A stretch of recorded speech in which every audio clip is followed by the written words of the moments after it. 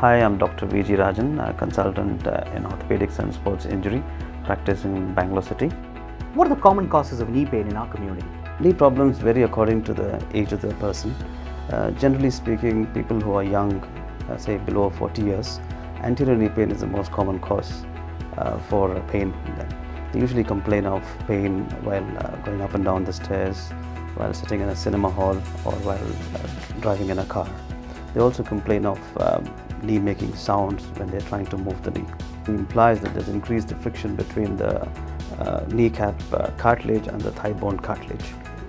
And the complex uh, terminology for this condition is referred to as chondromalacia patella.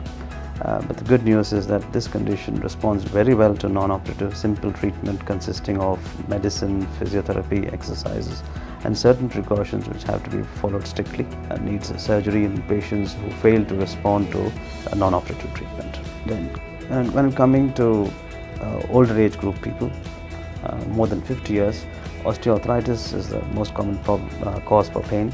This is commonly referred to as aging arthritis.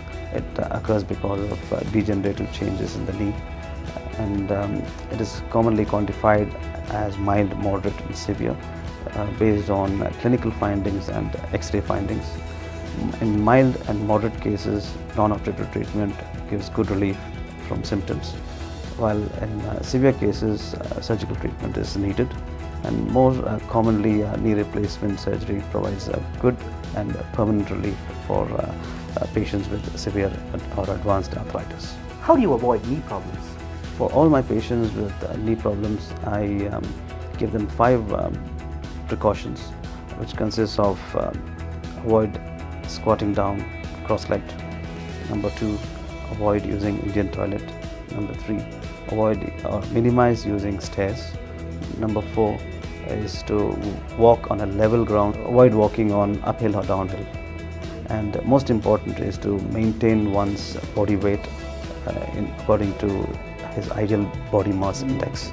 Now this can be calculated based on one's height and weight and uh, there are ready-made charts available to tell you what is your ideal body mass weight. What type of exercises are best for people with knee problems?